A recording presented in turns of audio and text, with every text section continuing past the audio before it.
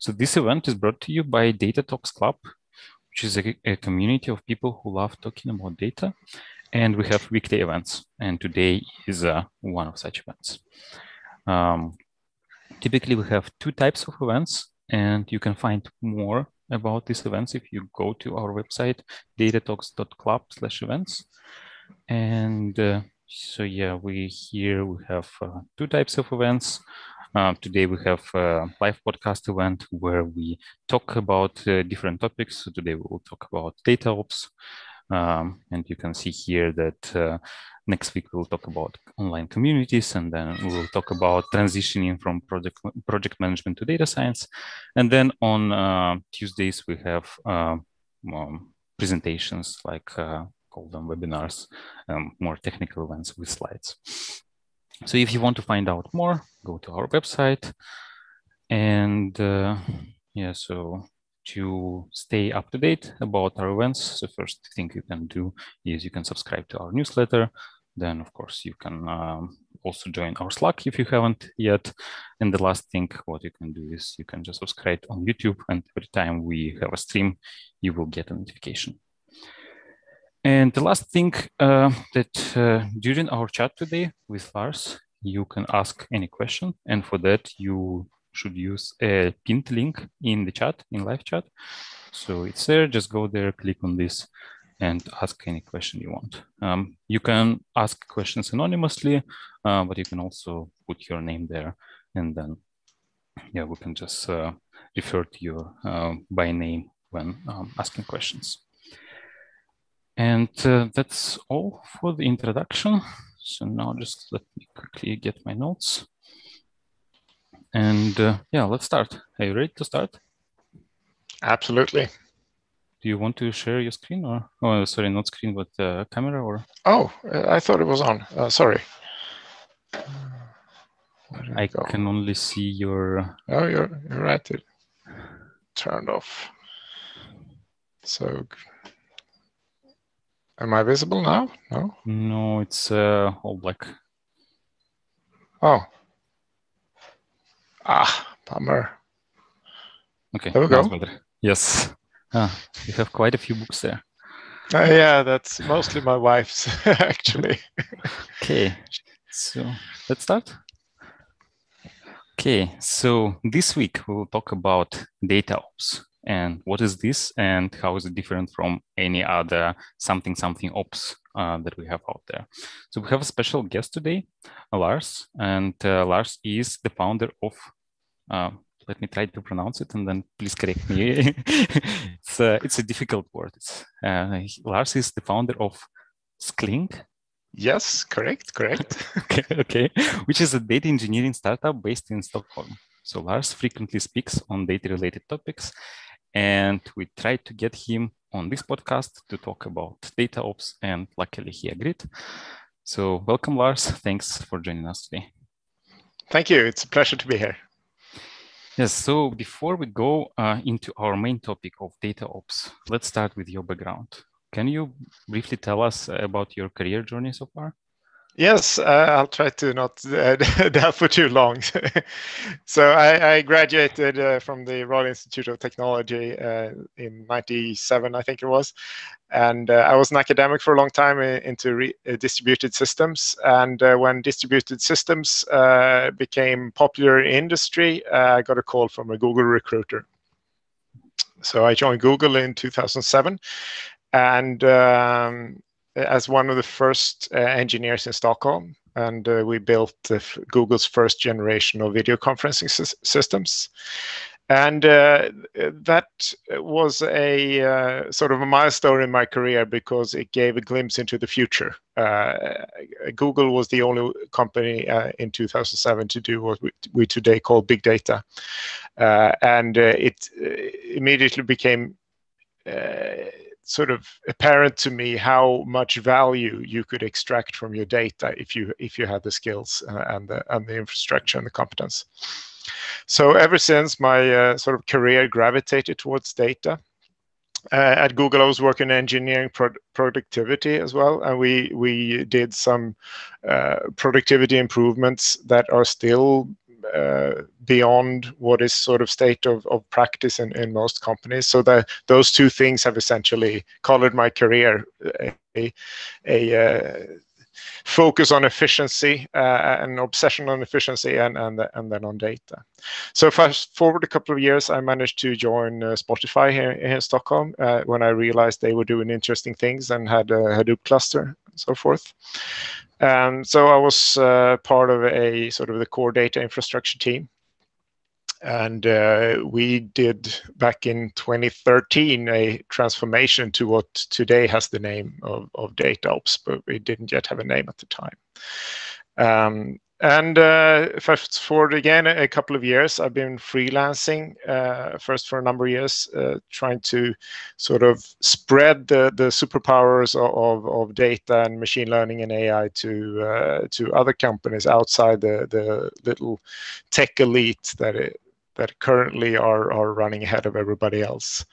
And uh, I, I did that as a uh, as sort of a self-employed consultant for a while. I, you know, embedded into companies, everything from from like star big banks to startups to to retail to to news, so forth. Um, but I was ultimately limited in how there's only so much that you can do to change these companies. And usually I go in there and I try to build technology, but usually not technology is not the limiting factor. Uh, so, so therefore I, I've been sort of very limited in in uh, what I could achieve as a lone consultant. So um, a couple of years ago, we we flipped this around and say, okay, uh, it's the key is the the ways of working and, and the workflows and how you work with data, not not the technology. Uh, so uh, so we're now trying out a, a, sort of different collaboration paradigm where we say you have data uh, to our customers, right? You have data that has potential, that has value. So how about we together with you figure out what the value is in this data and try to extract value from it through through uh, th simple things like reporting and analytics or, or, all the way to machine learning and but we do it right so we together with you because you are the domain experts but but we handle the how we work uh, the technology stack and the operations and, and so forth and thereby sort of circumvent the need to change how, how our customers work and, and instead the, extract the value from the data and then returning valuable data or data assets to customers. So you've been self self-employed for five, six years? Or? I am or four, something like that. I don't know. Okay. Uh, and, and, you said like you started with data ops even before it became, I think, in 2013, right? Yeah. And uh, um, uh, yeah how, how, how was it called there or like uh, how did you like what was that what was what happened for you yes like how did you how did you come up with uh, this so uh, i mean we didn't we didn't give it a name it was it got the name got coined the year after by someone from ibm i believe uh, and then it got became a thing like uh, 2018 or, or 2017 2018 or something but uh, roll back to 2013, um, we were there were just a few teams that were intensively working with data at Spotify at the time. So um, and and I was in sort of the the core team, and we were doing both the the infrastructure and the platform, uh, but also handling some of the main pipelines, like uh, the what songs have been played and what users do we have, uh, and so forth. And then there were there were a couple of power user teams as well, like recommendations, for example.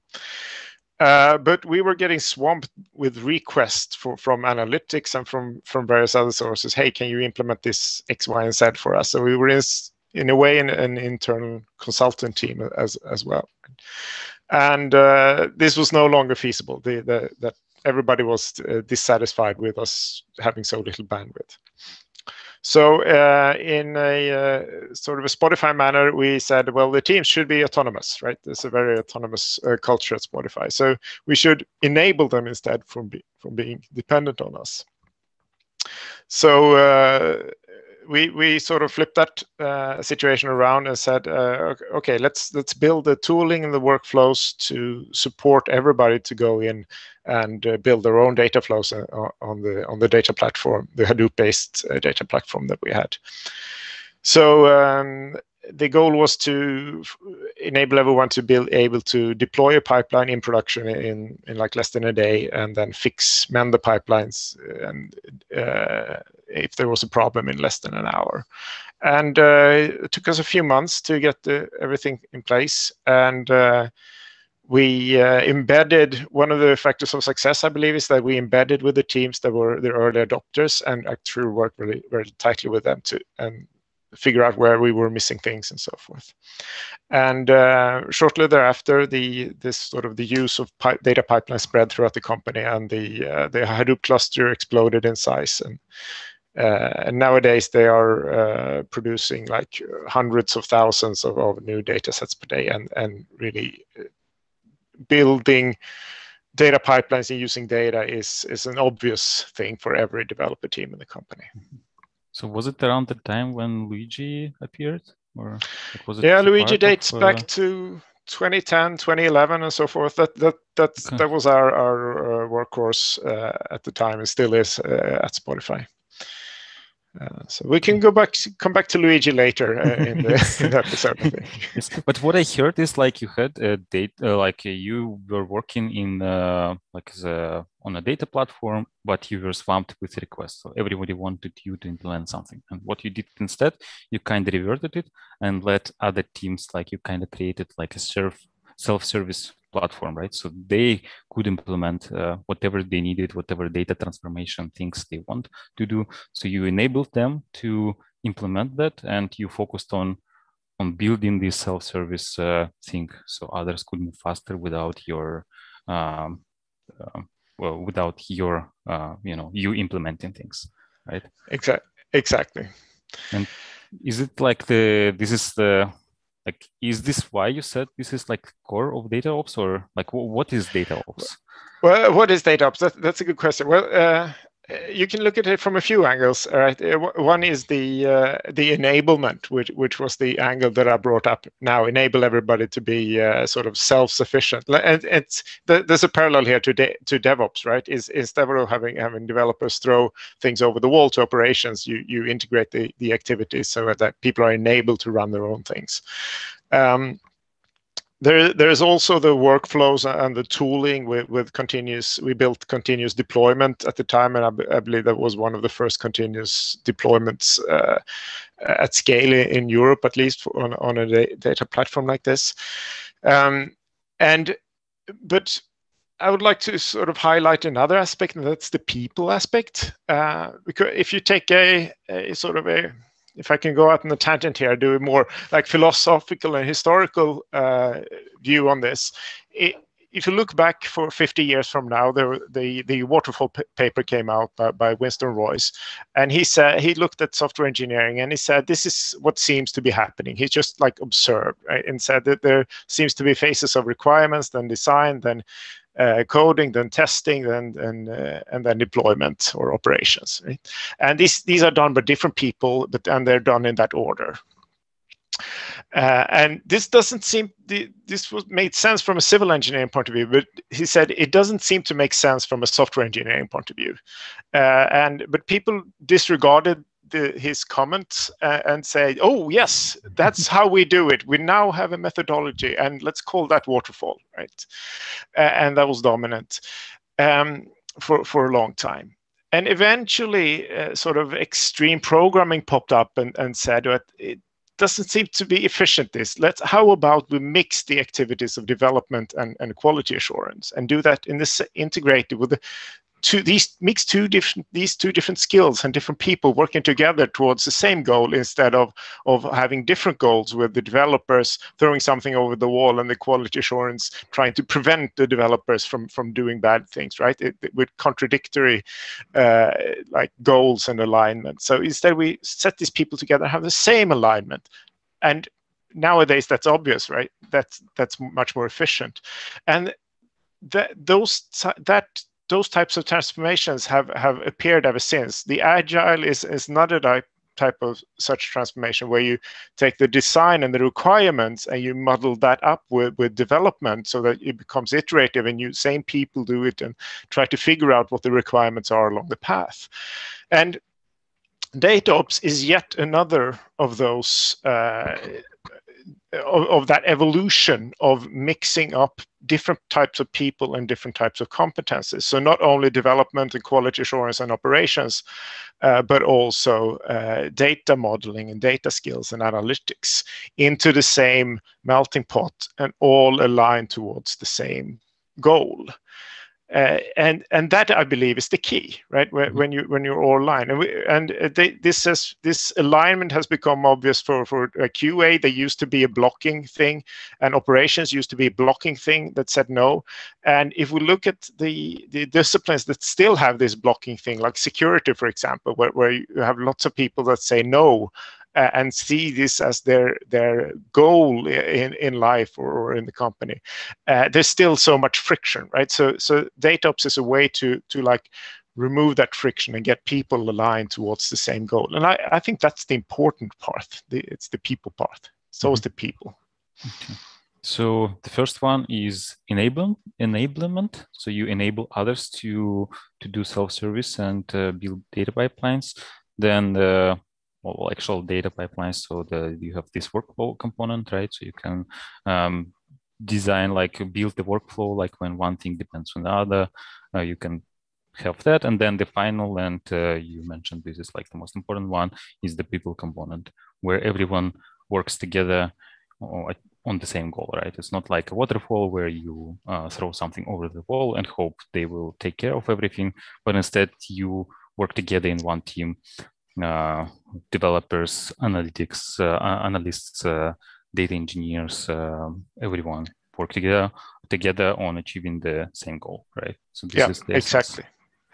There, there is a key uh, sort of technical or process component here that needs to be in place in order to do the enablement, and that is to switch from uh, from the traditional database-oriented mutable uh, data storages.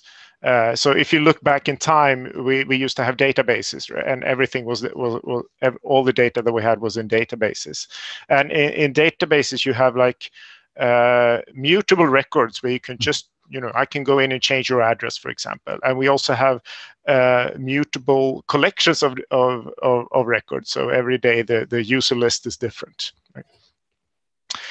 um, and that only scales to a certain degree. We all know the limitations of, of, of, the monolith right? And because too many people cannot go in there and same at the same time. So you have you have few teams that are uh, are able to to work in there. So we have the microservices split where, where everybody has their own all the teams have their own database but that spread out all the data. So we cannot use data easily from one end of the company to another.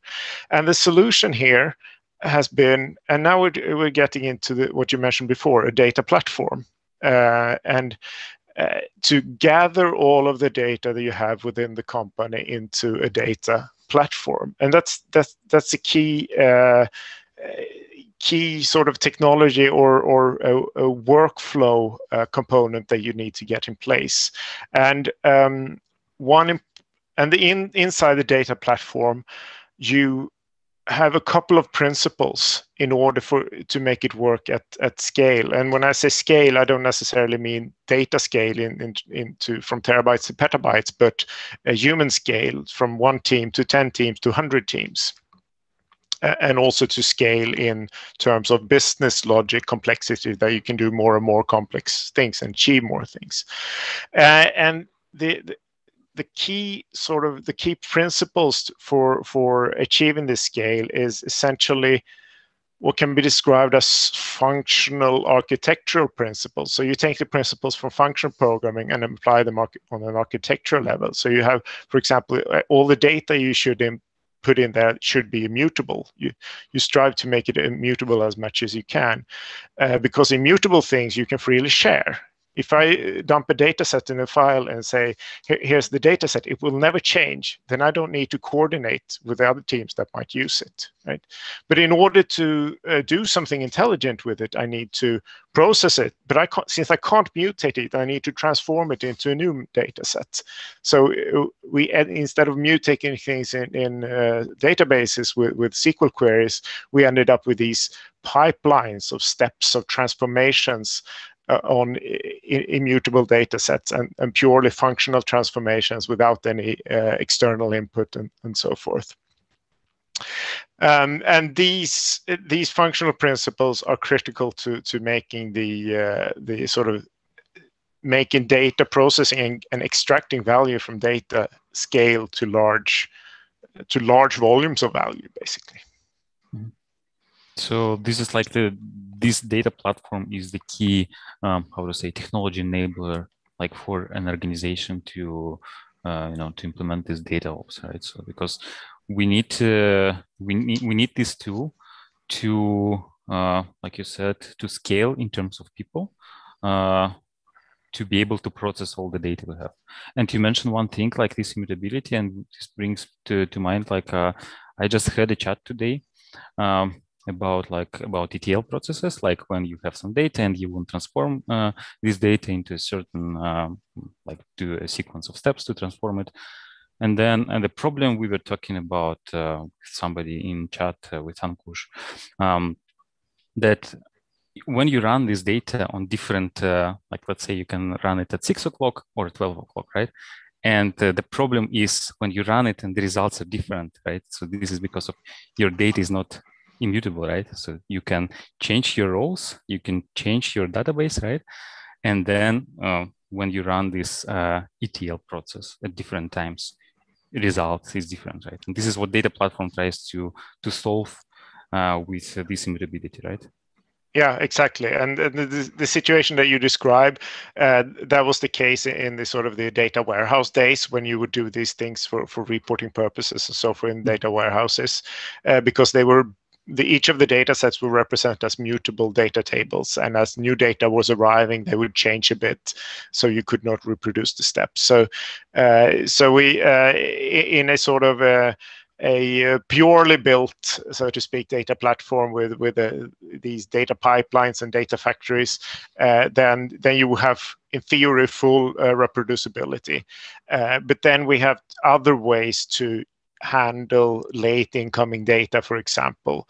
Uh, and it we're still the world is still in uh, training on this one mm-hmm. uh, because the it's very easy to fall back into the old mutable practices and we actively see some of the main actors in, in, in the scene uh, sort of falling back there. Uh, for example, we've seen uh, Databricks is, uh, has pushed something called the Lakehouse with, with mutable, where you can mutate data sets, and and uh, you can look at this from from different angles. I so, I, I sometimes say that this is an anti-pattern. This is something that you really should avoid.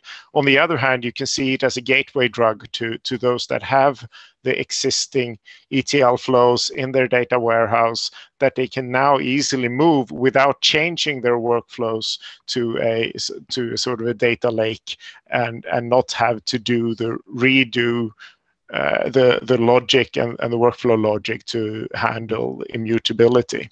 Mm-hmm. Maybe we can take a step back and uh, um, like we talked about this data platform, but what is the data lake? Yes, and how uh, these so, two are related. exactly. So, so uh, a data lake is uh, one of my clients. When I described what it is, uh, so one of my clients said, "So this buzzword that everybody keeps talking about is basically just a big disk." And I said, "Yes." Sorry to disappoint you, but it is a big disk, right? It's just a bunch of files, uh, and uh, they became popular when Hadoop came out because then it was certainly suddenly economically feasible to to store all all raw data from your web applications and so forth uh, forever. Uh, but you could do it, you know, with with older NFS server technology or whatever. Uh, so it's just a big file system that is shared between the the nodes that do the data mm-hmm. processing. So HDFS, or um, these days maybe like this uh, cloud-based uh, storages like uh, I don't know S3 or uh, Google Storage or something like this. Exactly. Yes. Mm-hmm. Uh, now, now in now Hadoop is, is sort of obsolete, and mm-hmm. Uh, now so nowadays you would use uh, object stores on, mm-hmm. on in the cloud instead. Mm-hmm. So basically, every data you have, you dump it to S3 and you just call it a data lake, or Yes, uh, in from from from a glance, yes. Uh, but then you need to this will uh, degenerate in what's called a data swamp and if you do uh-huh, it okay. without without any control or governance or order so in order to get value from it you need to have structure in there and also in order to be compliant you need to have some kind of, of, of governance so uh, the you uh, part of sort of the, this this big data and data platform uh, uh, philosophy is that you store raw data. You you store the data that has been generated in source systems, you know, by by events in mobile apps or, or clicks on your web page or or uh, dumps of your current database, uh, current user database, and so forth. You store those in raw format without processing them whatsoever in in your data lake and uh, in uh, what I usually call the cold pond. So pond is the, the lingo for for parts of the data lake, and uh, if the, if it's not personal data, you store that forever. Uh, if it is personal data, you you have to separate first and, and uh, sort of uh, separate the personal from the non-personal data, so that you can discard the personal data in order to be compliant with GDPR. Mm-hmm. So you uh, have this data lake, right?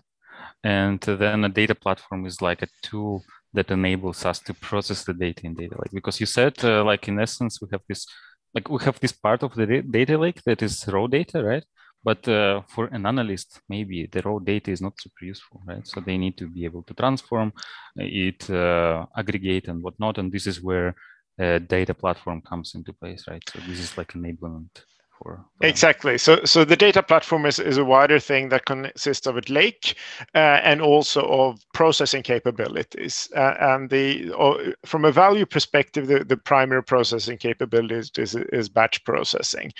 Uh, and and and then you can it, it enables you to build uh, like series of of batch processes that take one data set at a time or or several and combine them and so forth. And in refine do refinements from you know usually there's a series of of of steps where the first ones are cleaning you remove the invalid records you you uh, fix whatever what you know is broken and then you you sort of decorate the record so if you at spotify for example we had uh, songs that have been played and then we joined with the users so that we know what what product they were on what country they're in and so forth um, and then uh, the these uh, sort of pipelines fan out. So the, these popular data sets are used for many purposes, for reporting purposes, for recommendation purposes, and so forth.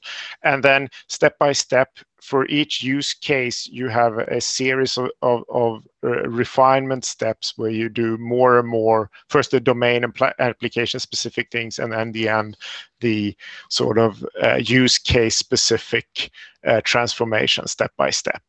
And uh, at the end of, of such a pipeline, you have arrived, you arrive with some kind of refined data set, like a recommendation index, for example, of, of high value built from the raw things of, of low value. And then you take this high value data uh, data set and you export it or egress it to some kind of storage where that is more suitable for serving like a, uh, a SQL or a NoSQL database. Mm-hmm. Uh, and that, then it goes out of the mm-hmm. data platform. And ingress is uh, just what does it exactly mean? Like so ingress is the is the processing of taking things into to the platform, and egress is the process of, of taking things out of the platform. Okay. So the platform itself is completely offline, right? So it doesn't have any direct connections to to the online world, mm-hmm. and that's important uh, because when you're in offline, you can move with you can accept higher risk basically. So, so you can move with higher speed and with very little operational overhead. So you don't need any staging environments or, or development environments. You can you can do your tests in production and so forth. And that speed translates to innovation capability, basically. And uh, this is what enables other teams to to do this self-service. So they can just an analyst who is not necessarily like I don't know hadoop expert can just go there write sql queries and then they get translated to uh, i don't know like maybe internally use presto or hive or whatever. And so they just focus on sql right? And then the, the the platform takes care of actually executing this and having the data in the form they need. So they don't care they don't need to care about all these things like i don't know staging and uh, like all these things you mentioned, right?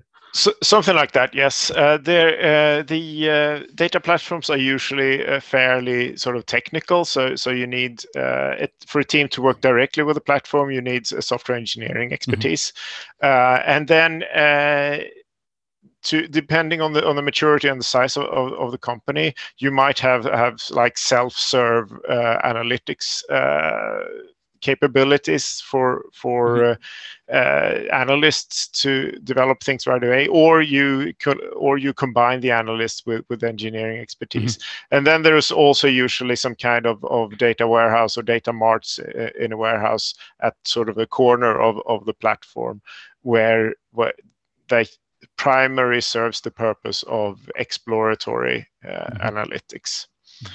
Yeah, so you touched a bit like on maturity level. This is something uh, we I think we definitely should cover a bit later.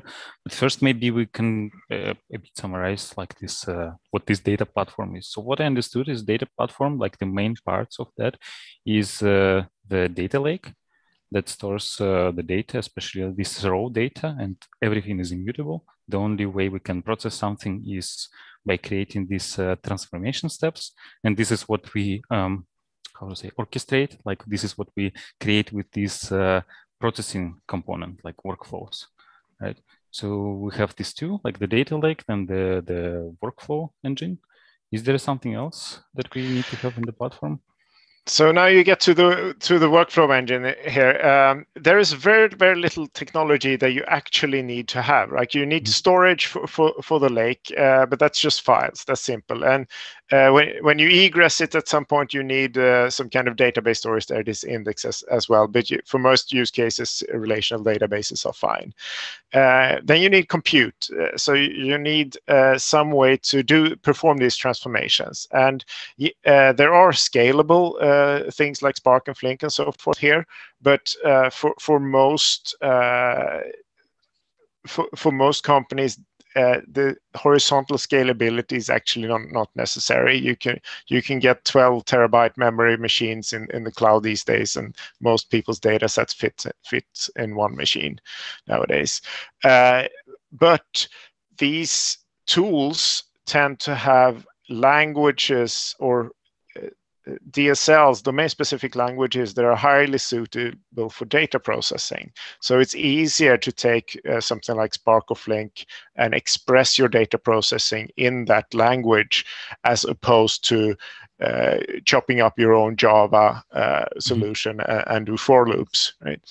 Um, but the only key, the only component that's really unique here and, and, that you need to solve one way or another is uh, the workflow engine or the work rather the workflow orchestrator.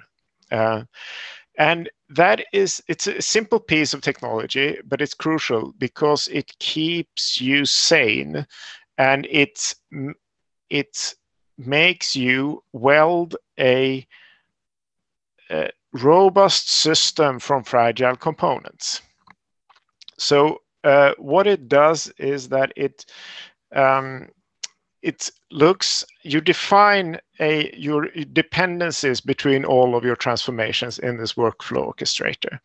Uh, so you say that you know for for this particular recommendation, uh, we need the raw events on the web shop, and we need the information about the users dumped on this particular day, and, and so forth. And uh, it then no, it, you then tell it what the different processing steps are. You don't do processing inside the orchestration engine. You, you rather do that in in your Spark jobs or whatever on the outside. Uh, and then you schedule this to run every once in a while uh, when new data arrives or, or, every hour or so. And it tries, and if it fails, it will later try again, which means that if the data is late or, or if you have a transient problem or, or if you have a bug, uh, the workflow engine will try and sort of repair. So it's like a build system for, for but for data. And uh, that's one of the keys of, of data success at Spotify is that we nail this uh, with Luigi. Basically, the, uh, we used to have uh, Oozie that is shipped with, with Hadoop, and uh, and that's a terrible thing. And then we made something uh, something else that was called a Builder, and then we made uh, Builder 2, and then we made Rambo, or if it was in some other order. and finally, we made Luigi uh, based on the learnings that we have made and sort of got this right. And and that that's what kept us sane and kept us able to, to do these things at a, at a very large scale. Uh, but Luigi is a very, very simple tool.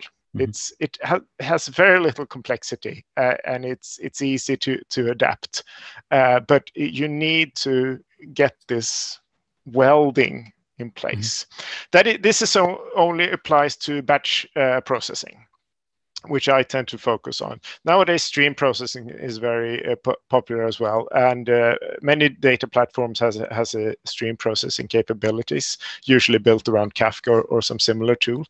Um, the there are pros and cons with batch and stream, uh, but but uh, there's streaming is very fashionable these days, but comes at a significantly higher cost of operations. So it's because it doesn't have this workflow orchestration that sort of automatically repairs and heals the system, you need to keep things up. And if things go down, you you need to do mm. much many much more operations. So I, I tend to gravitate towards batch because the the time that I don't have to spend on operations, I can spend on innovation. Mm-hmm. Okay, so what if we want to? So you mentioned Luigi. I know there are other tools.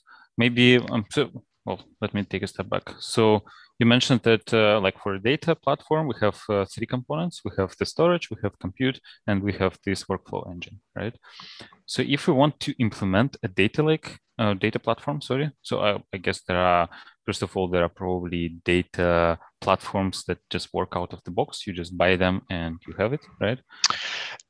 Uh, yes and yes and no. Uh, usually, people go to the cloud for these things, and then mm-hmm. they just pick the pieces. But I mean, these, all of these uh, components are just technically so simple that you can. Uh, it's easy to put them together. Uh, you can get some help the, if you go to the cloud. There, there, there are the different vendors have different mm-hmm. Sort of pre-packaged things. Mm-hmm. Um, the the ones several of them are not particularly good to be honest uh, and but then there are uh, there are so there are a few so, that are sort of useful so if you instead of luigi use airflow as your workflow mm-hmm. orchestrator it comes with more things it has mm-hmm. a wider scope and it it's more opinionated which uh, if you're a power user like me that becomes annoying because there are some things that it can't do. It, but but for beginners that's usually a, a, good thing because it sort of pushes you towards some reasonable patterns. Uh, so and but there are no um, there are no fully pre-packaged data platforms that I, would recommend. But on mm-hmm. the other hand, uh, once you obtain the skills, there it's technically easy to put together. Mm-hmm. So, for example, if we talk about clouds, uh, then for storage we have this uh, object storage, right? And uh, I don't know S3 or Google uh, Google Storage, right? Then for compute, the like all these uh, all these clouds, all the major cloud providers, they have their own tools. Um, I guess like maybe for Google Cloud. This is like BigQuery can be one of these things, right? Uh, yeah, BigQuery is, is essentially a data warehouse. If okay. so, so but you yes, you can run jobs in, in mm-hmm. BigQuery as well. Um, so the uh, for compute, uh, I mean the the plain virtual machines work fine nowadays. Everything is containerized, so then mm-hmm. one of the managed Kubernetes clusters is mm-hmm. is perfectly fine. Or or things like uh, Fargate or or uh, GKE Autopilot, where you just okay. run a container. Uh, that's that's perfectly fine as well. You just need to be able to run a, a mm-hmm. batch or, or a cron job, yes. basically. So, and if you can then express your job in terms of SQL, then you can use BigQuery or I don't know the equivalent in uh, AWS, Athena, right? But uh, like then uh, you maybe lose some flexibility. Uh, also, exactly. uh, I think most of the clouds have like managed Spark that you can just also yeah. just they can use. Uh, um, okay, yeah, more or less clear. And then for workflow orchestration, we have Luigi Airflow. Um, and I know now that we have uh, more and more such tools that uh, maybe not uh, that are not written in Python, like uh, Luigi and uh, Airflow, but uh, they have like this YAML syntax. Maybe I don't know. Do you have you used any of them? I I am aware of Dagster and Prefect. I think it's the name. I think they're both in Python. Uh, nowadays, fortunately, we've left the days of uh, Oozie XML uh, workflow orchestration. And nowadays, since people people yeah, tend to want to target uh, data scientists as well, Python is, is sort of the natural choice. Um, okay. Yeah. So we already have a couple of questions. So the first one is uh, regarding uh, functional programming principles applied to architecture. Is there any good literature that you can recommend on building these functional architectures? Um, so I, well, uh, there are a couple of tangential books. I think the original the original good book that described these functional transforms is Nathan Marz, uh, who made Storm uh, once upon a time. Uh, he wrote a book called Big Data back in 2012. 2013 something and that define that that's the definition of the lambda architecture. Uh, lambda architecture is nowadays it actually has two parts. Nowadays just one is remembered and that's the uh, that's the part where you have dual streaming and batch pipelines and combine them. Uh, but the other part is more important and that's where he that's where what i explained earlier with this you, you know you save the raw data sets and then you do these transformations. Uh, and that was uh, sort of formulated in in the in this book and in a blog post blog post at the same time. Uh, there's a more fresh book uh, by Harvinder Atwal, I think I got his name right, which is plainly called DataOps, I believe, or DataOps in mm-hmm. practice, or something like that. Uh, but that's a that has a, a much wider scope uh, and is not uh, so focused on on these functional transforms. And then the third resource that I want to throw out is uh, that uh, we have a data engineering reading list on scling.com/slash reading list uh, with lots of links to books, presentations, uh, YouTube videos, and so forth. So this is a great resource. I, I, remember going through this and uh, actually to prepare to this uh, to this talk is where I use inspirations from from that. Uh, so thanks a lot for putting this together. I will make sure to include a link in the description. Um, so then we have another. Uh, so you already touched a bit uh, batch versus streaming. Um, we have a question related to that. Um, so um, as far as batch versus streaming go, what are your thoughts on data latency? How frequent is too frequent uh, uh, for batch jobs? Yes, uh, that's a good question because that's a trade-off, right? Uh, with batch, you uh, with streaming, you can sort of process it more or less right away, uh, or or actually, let's let's split it into three time windows here, right? If and and we're now talking about the latency from new interesting data coming in to you reacting on it. Your process is reacting on it and serving something back to the user.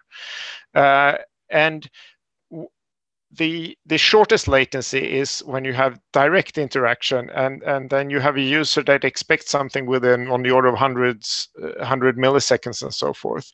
Streaming is too slow for that essentially. So th- then it has to be in memory in your server in order to to get the, have this uh, completely interactive experience um, and then you have batch where where things are can be really slow, like reporting, or you you're making a, human uh, analytics or business insights decision is to be made. Then, then you can wait for an hour, and that's fine, right?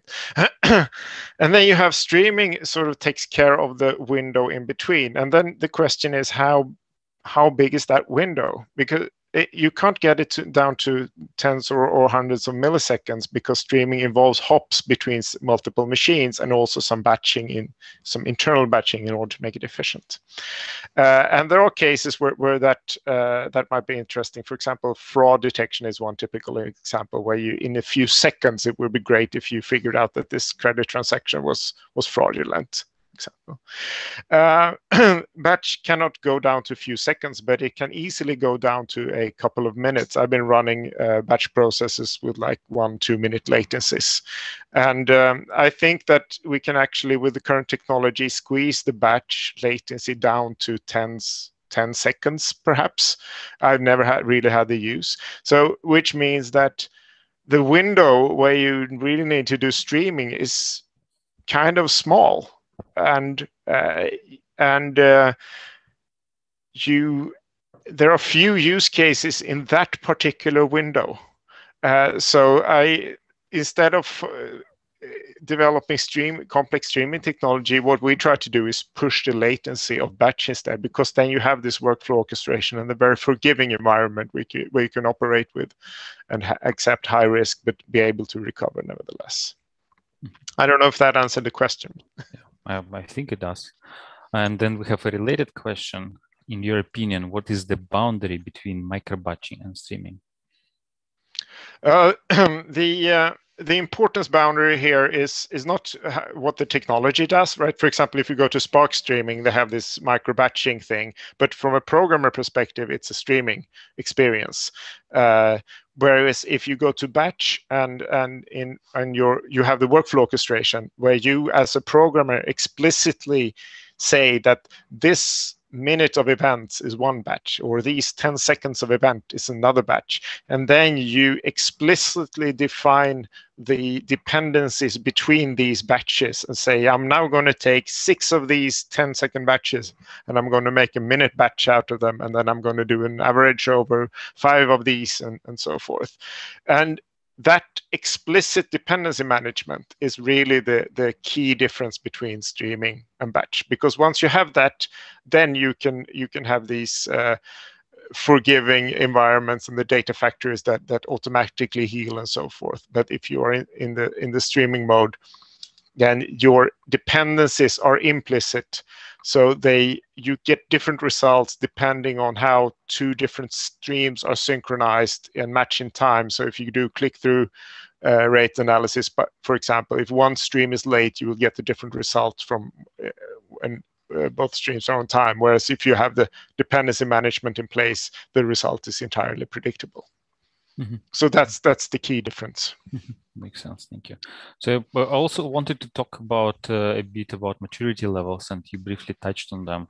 Um, yeah, so maybe um, you can tell us a bit like what are the maturity level of uh, organization and when an organization is ready for data ops and what are the different level of uh, sort of readiness so uh, ready for data ops is uh, everybody's ready for data ops right now, just like everybody's ready for dev- DevOps right now. There's there's absolutely no drawback in in adopting these things. Uh, we mentioned it in context to enablement and scaling before, but because data ops is sort of a necessity in order to scale efficiently. But you can you even if you have just one little data team doing all of the data things, you can have a you can have a, a data ops way of of mm-hmm. working, definitely. Uh, regarding the maturity levels, I don't have a super great uh, defi definition of maturity levels. Um, there there was an interesting development at at uh, Spotify uh, because um, I when I was at Google, if we trace back all to that time, we had a maturity ladder in terms of, of essentially of DevOps or or of uh, quality assurance and, and and software engineering, uh, and that ladder was called test certified, and that drove that was the main vehicle be, for transformation at Google from from uh, mostly manual testing to automated testing and and sort of part of the, the DevOps uh, philosophy. And uh, that same idea was later applied at, at Spotify. I can only take a tiny little credit because I dumped a, a document on, on somebody's table essentially. And, and then I left the company. And when I came back a few years later to, to look, people had these t shirts that said test certified. So I affected not only the, the processes, but also the fashion. Um, and that was very successful at Spotify as well. And precisely what they needed. And they took that further to, to test certified for data, which essentially became a data ops maturity ladder. So instead of the original test certified with, with you know you should have a continuous integration build and you should have uh, recovery measurements and you should add a regression test whenever you have a production bug and so forth uh, they added similar things for data so you should have data quality measurements uh, that uh, and you should have schema management uh, automation so that you don't push out invalid uh, or sorry, incompatible schema changes and, and so forth. So that is the only sort of data ops maturity ladder that I've seen. Uh, and also as a meta answer to that question, I would like to point people to a great company called Data Kitchen based in Boston. Uh, where uh, the CEO uh, Christopher Bergh is sort of the premier data ops prophet. Uh, so they have lots of good uh, resources online in blogs, in presentations, and and white papers and so forth. So you might be able to find further information there. Mm-hmm. Uh, yeah, thank you. Uh, and probably, yeah, I will also, if you give me some links, I will put them in the description to the video. But uh, I remember we talked like when we were talking about self self service and enabling analysts uh, to do self service. Uh, you mentioned that you know not all the organizations are ready, and for some, like just uh, pairing a data analyst with uh, a data engineer will uh, solve this, right? But then at some point, like uh, um, I guess the company becomes mature enough when the, the, the pairing doesn't need to happen, right? So analysts can just use these tools to um, to do this themselves. So how do does a company go from uh, you know there is a central team who is taking care of all the ad hoc requests, like it was uh, in your case, to the to the state where uh, analysts can themselves just go and uh, you know build these uh, ETLs themselves. Yeah, that, that's a long journey, uh, I'm uh-huh. afraid. And uh, the if if you have the, the centralized data team uh, first, then the, the lower hanging fruit is to enable the developer teams in the organization, and that's the step that we took back in back in 2013. Um, and the, the st- sort of a step uh, a later step is to is to enable non-technical teams to to uh, also sort of implement pipelines but that's not necessarily a step that all organizations should mm-hmm. uh, take because it is much cheaper to embed analysts and software engineers or data engineers in the same team working towards the same goal rather than having this wall with a team that builds self-service capabilities and then on the other side of the wall you have these analysts that that's that's the waterfall uh, mentality still okay, sticking around okay. right uh, so and some organizations you cannot break down these barriers and mm-hmm. then it might uh, make sense mm-hmm. Uh, but it's not necessarily a step that every organization should take. Mm-hmm. If you have the capability to mix up the competences, you're better off that way. It's much more efficient. Mm-hmm.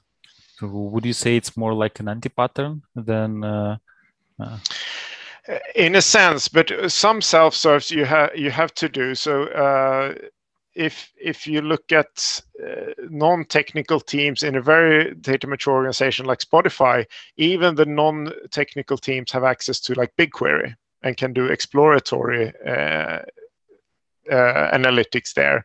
And uh, I saw some numbers that I think it was 30% of the of the entire staff at Spotify use BigQuery on a regular basis, like a at least monthly basis, and that is an extraordinary figure. It's it's as low friction to get data to to uh, for your decisions at, at, such a company as it is for us to you know open a, a, word processor right? It's it's the same.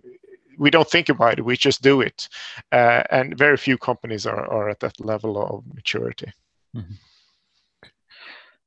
yeah thank you. Um, and uh, this reminds me that uh, actually at the beginning of our chat, I wanted to ask you this question about, uh, you know, different something something ops. So we already talked, uh, I think, more or less about the difference between DevOps and data ops. And correct me if I'm wrong, but uh, like, uh, so in case of data ops, you have, um, so the the the idea is similar. So like all the principles, Um, but in addition, you have um, you, you, first you have embedded data engineers and data analysts in the in the team, right? Uh, this is a cross-functional team, and then you have this data platform, right? So the which uh, has all these components that we talked. Is there something else uh, there that is like the key differentiator between data ops and uh, DevOps?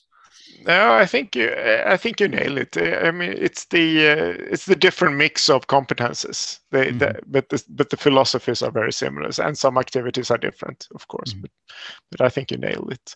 And yes, there are other ops. I think that's what you were about to get to, right? yes, yes, exactly. There is ML ops, uh, right? So do you have any ideas about that, and what is the difference between ML ops and data ops?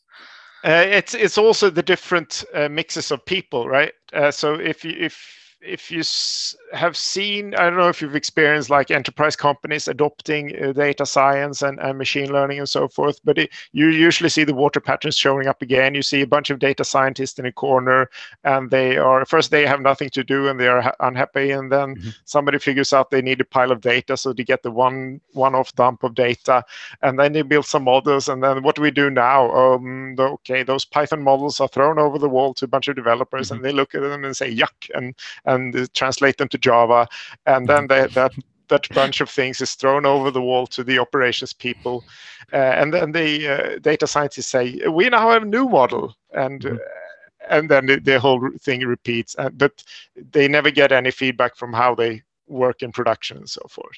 So, MLOps is essentially mixing uh, these different uh, competences data science, data and software engineering, operations, and quality assurance into the same mix and all working together together towards the same goal with the same type of tools in the same environments and so forth and closing that feedback loop from from model idea to production mm-hmm. to measurement and there's much overlap between data ops because all of the pipelines and the the working in the data platform uh, and and so on and so forth and the data quality measurements and all of that is is in common. Uh, but there are a few other things as well uh, that are specific to data science and machine learning models like uh, you know running multiple models in parallel and, and trying out the new ones uh, in in sort of dry mode uh, measuring internal characteristics of, of the models, the you know measuring precision and recall, for example, in, in, real life, and acting on that, and having ensemble models where you combine several. So there are a number of, of sort of ML specific things mm-hmm. that uh, that uh, come into play here. Okay, but, the uh, philosophies are the same. And then, yeah, because I often see teams that have both ML engineers and data engineers and analysts and data scientists all work together. And uh, then now the question is, is like, is it ML ops? Is it data ops? Or like, maybe it doesn't really matter, like as long as the team is, uh, you know, working on uh, delivering value and. Uh... Exactly. okay. It's oh, the alignment. Sorry? It's the it's the alignment towards the, the same goal right and mm-hmm. i think if we fast forward five ten years we will see the devsecops coming mm-hmm. becoming more mature with where security is aligned towards the same goal and you know the data compliance ops where where mm-hmm. the legal uh, aspects also are aligned uh, instead of, of, of having another department that says no to things mm-hmm. okay and uh, so now recently, and I found out about this thing called data mesh only maybe uh, one month ago. But since I accidentally discovered it, I noticed that it's all over the place. Like everyone seems to be talking about this. So what is data mesh and how is yeah, it yeah. related to, to data ops or? Uh, yeah, it is related. It's everybody's talking about it. Very few have seen one. I I, I actually have seen one because uh, Spotify uh, again moved to one essentially uh, when we moved from Hadoop to the cloud uh, as, a, as a side effect of, the cloud move. And uh, data mesh, uh, first it it assumes data ops are in place. Otherwise, you can, it's not meaningful to have a data mesh. It also assumes something called data democratization, which we uh, have touched on but not named, which is the enablement of, of others, all teams to to uh, uh, to use to access the data and to implement data pipelines. Uh, and data mesh is a scaling technology that is relevant for large organizations that where the centralization of how you work with the data, the, the technology of the data platform and the storage of the data platform and so forth, where it has it becomes a bottleneck that the that the data platform is homogeneous and is like governed in a centralized way. Usually you you have this, it used to be Hadoop, nowadays it's the cloud where the data platform, all of the data files are of the same format and they're governed with the same workflow orchestration and the, and, and the same principles for, for privacy access and so forth. Um, data mesh is about decentralizing that governance. So uh, so after the after Spotify's moved to data mesh, rather than going to the the central Hadoop cluster, you went to the people, the teams that actually were producing a particular data set, whether if it was the user team or, or the or the web team or, or whatever, and you talk to them to get access to the data rather than going to talking to some some data infrastructure teams. There is also an aspect of uh, um, responsibility on the source system owners, the, the user team and the web team and so forth, to produce data artifacts into the data platform.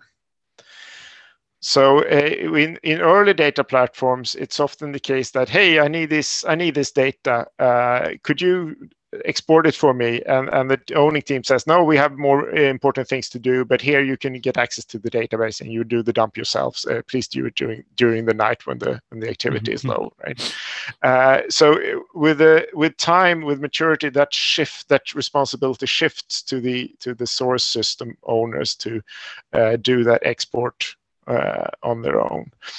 And, and be sort of having that as part of their uh, expect expectations I am quite concerned uh, regarding the uh, the talk of the, buzz of the, around the data mesh because I think that uh, there's so many companies that jump on the latest buzzword mm-hmm. and say, "Oh, we want that as well," and if you don't have a strong governance or strong culture of sharing in place, if you go rather go directly to data mesh instead of via a centralized platform where you share everything, then you will end up with the data spread around in silos, which is what we used to have before there were data mm-hmm. platforms, right? So we're back into the to the everything is locked up in microservices, um, and uh, you will have you won't have the homogeneity that that keeps the operations low and and keep and, and enables the data democratization and so forth. And if you uh, and if you say to teams, hey, you are expected to uh, to uh, export this data set, yes, but the data mesh philosophy over here it says that we should also be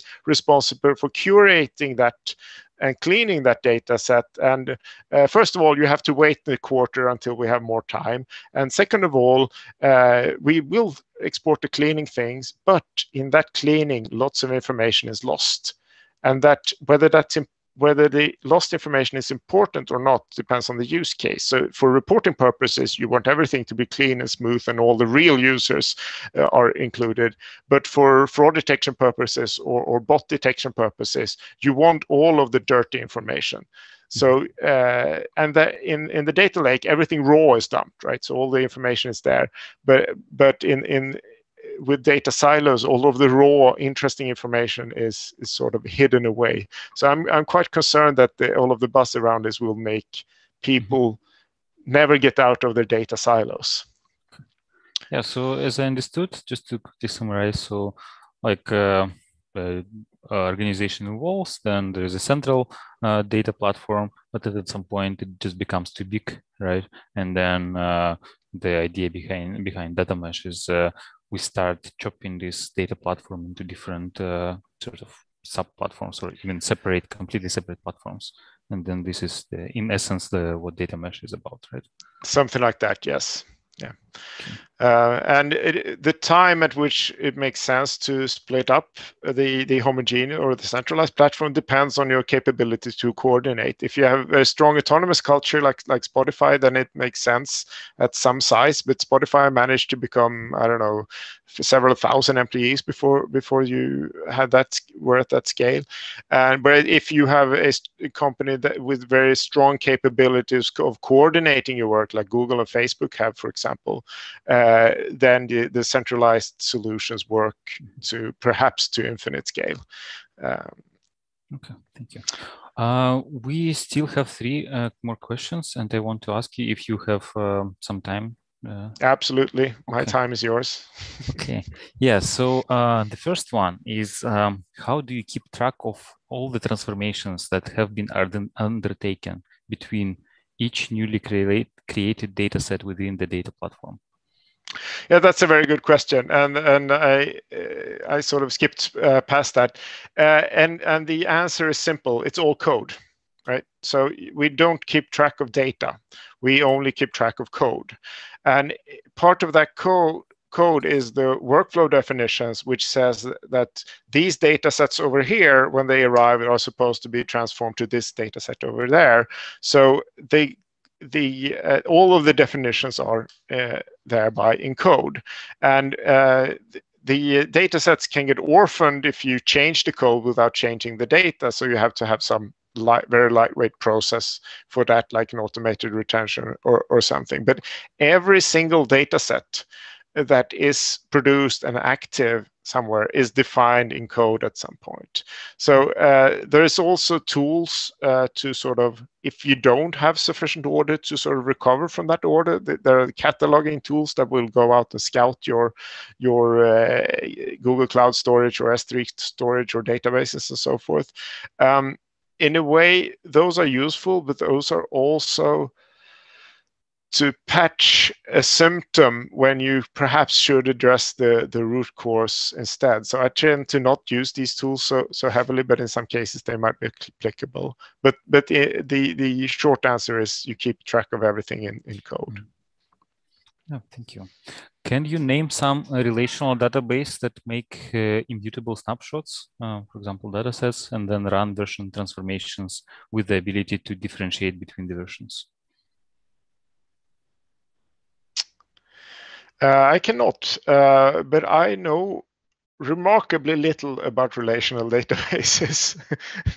And i'm terrible at sql uh, so so uh, i don't. So what we do in in data platforms uh, typically is to dump the database tables that we're interested in. So so we take a full dump each day or each hour or something. And uh, and that avoids, for example, the uh, this problem with slowly changing dimensions that that you have in data warehouses because we have the full history way back in time, and um, that introduces some other problems, uh, for example, with GDPR compliance. That, so you need to prepare for that. Uh, but uh, but that's that's generally how we handle the sort of the different versions of database tables. That you lose some information in that dumping because what happened in between you don't catch. So there are ways to to uh, mitigate that or to get all of the information. And uh, one way is to have the application dump all of the sort of change events, uh, either uh, on a stream or in a change table inside the database or via something called change data capture, which is essentially a way of translating the transaction log in the, in the database to, to like a Kafka stream. And then you get all of the nitty gritty details if you want. Mm -hmm. Thank you. And then the last question we have from uh, is, uh, I don't know what lake house means, but like how would you define lake house architecture and what's the core difference be compared to data warehouse? Yes. So um, uh, data warehouse is the predates the data lake, and and that that is a, a construct for collecting aggregated data from from various systems uh, to a place where you where you can build reports and do exploratory analytics and so forth. The data warehouses usually don't have the raw data, but they have the aggregated data, and they tend to might very well have mutable tables and so forth. The data lake has all of the raw data, and then you have these functional uh, transforms. A data lakehouse is a combination of these two where you they technically look like a data lake, but you add the ability to uh, interactively explore your data with with in, and add indexing and so forth um, to to uh, to be able to use it as a data warehouse, and then also add mutability to to the data sets, which means that you can reuse your ETL scripts from the data warehouse without changing the transformations. But you lose, you break these functional principles that make the data lake and the data platform so efficient for operations and innovation.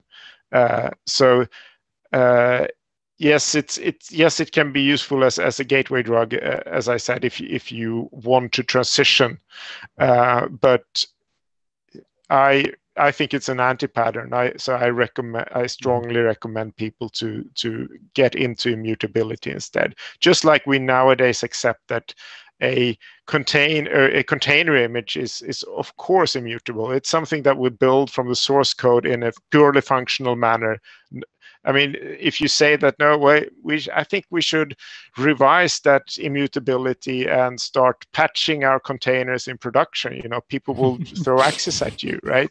It's it's insane because it it increases this complexity so massively, right? So stick to mut- immutability and and bear live with the great fruits of, of functional transformations. Yes, thank you very much. And you have covered all the questions we have. I still have a lot more that I didn't manage to ask, but maybe we can keep them for some other day. So thanks a lot for joining us today and sharing your experience, your knowledge, and uh, defining all these terms. Uh, some of them were just buzzwords to me previously, like this data mesh. Now I know. Uh, thanks a lot. And uh, yeah, I think uh, that's all. Do you have any last words?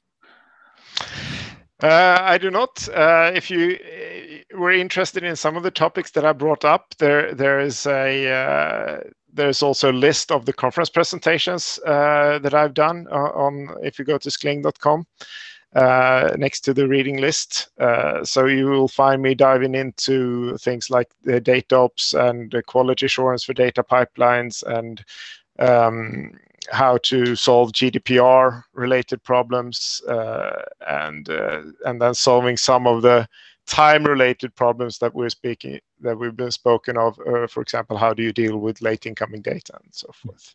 So if you I want to dive further sure, that's yes. a resource. Yes i will make sure to, to include that uh, as well.